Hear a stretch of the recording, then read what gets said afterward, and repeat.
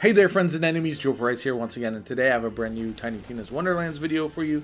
This one checking out the changes that were just made in the brand new patch that just came out yesterday. If you enjoyed the video, hit that like button, make sure to subscribe to the channel. Helps me out tremendously, shows you want to see more Tiny Tina's content from me. Now with this patch, we were able to get two new weapons, the Quad Bow and the Thunder Anima, as well as a host of buffs and nerfs that we saw that I wanted to talk about specifically because I tested them out for a little bit, and I the the changed meta is very very interesting. So I really want to get into that and talk about how we're starting to see a shift faster in Tiny Tina's Wonderlands than we might have seen in Borderlands games in the past. And so because of that, I feel like people are going to be frustrated because they are grinding for these weapons and then as soon as they get them, they are nerfed. Now, I was fortunate enough to get a chaotic version of the quad bow and the thunder anima.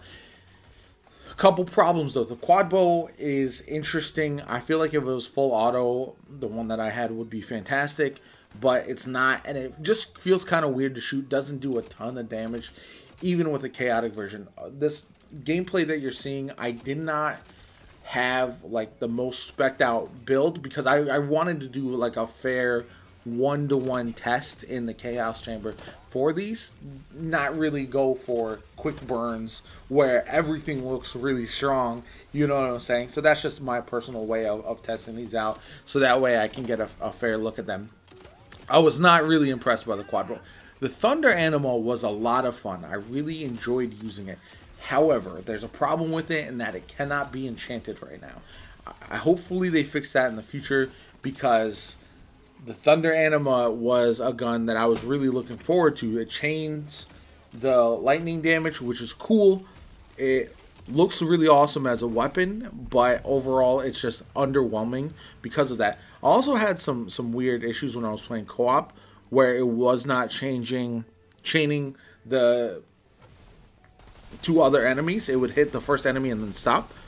So because of that, it was a little disappointing there as well. I don't know if that was a bug or if it was just a latency issue, but uh, those are two things that uh, just to keep in mind. However, if you're going to farm these, they're both assault rifles. You can get them from the uh, bunnies at the end of the Chaos Chamber. It's probably the best way. I got both of them actually on one run. And uh, the Thunder Anima is the one that I think you should be looking at uh, the most, in my personal opinion. Now, they did do a bunch of adjustments to spells and stuff. Uh, specifically, the one that I was using is the Hydra spell uh, increased all Hydra spell base charges from 1 to 2, so you can have double the casting fun. I was using that because uh, it allowed me to get, I had a toxic uh, poison damage Hydra. I was able to use it very consistently, and obviously I'm running a spell shot build, so I'm able to use the Hydra two times, and then if I get critical hits, I'm able to use it two more times. So I was just kind of spamming those to see how it does. It's actually a lot of fun. If you're doing a build based around companions, these spells could be very, very interesting now because they do count as companions. So I do like that a lot. There were a ton of other uh, spell changes, including Magic Barrage getting totally reworked, which is interesting. Uh, Cloudburst Arc Torrent also got adjusted quite a bit. Stuff like that. They increased all sniper rifle damage by 20%. I didn't use those. I, I just don't care for sniper rifles so far in the game from what I've tried. None of them really hit like big chunking damage that I would want from a sniper rifle, so I just don't care for them. And then uh, we they buffed Magic Poison SMG. You're gonna see me use the White Rider a lot, and the reason is I feel like that might be the best SMG in the game now that they've nerfed the liquid cooling.